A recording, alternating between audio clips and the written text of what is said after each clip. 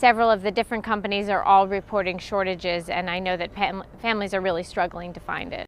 Sinai Hospital pediatrician Dr. Dana Silver says her office is fielding lots of calls. Just yesterday, I had a parent call me uh, very desperate. His daughter is uh, fed through a G tube and could not find her specialty formula anywhere and uh, had completely run out. So Dr. Silver contacted the company for the family, and the formula is on the way.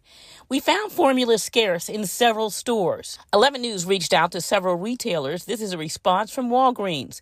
Due to increased demand and various supplier challenges, infant and toddler formulas are seeing constraint across the country.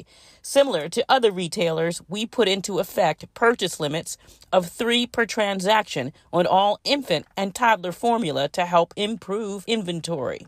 Dr. Silver says in the meantime, it's okay to switch to a generic brand. If they are on a cow's milk based formula, they can certainly change to another brand. I always say it's kind of like Coke and Pepsi, so it's absolutely fine to switch for most patients. Um, if they are on a specialty formula, they really need to check with their pediatrician.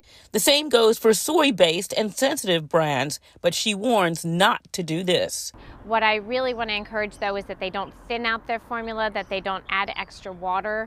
Uh, that can be uh, very lead to very serious complications with their babies. Dr. Silver says you can buy formulas online, but be careful. They want to make sure that they're not buying um, uh, formulas that are from other countries because they have different standards. If you're looking to try a new formula, you might ask a friend who has some to spare if you can try theirs. Also, ask your pediatrician if they have samples that you can try.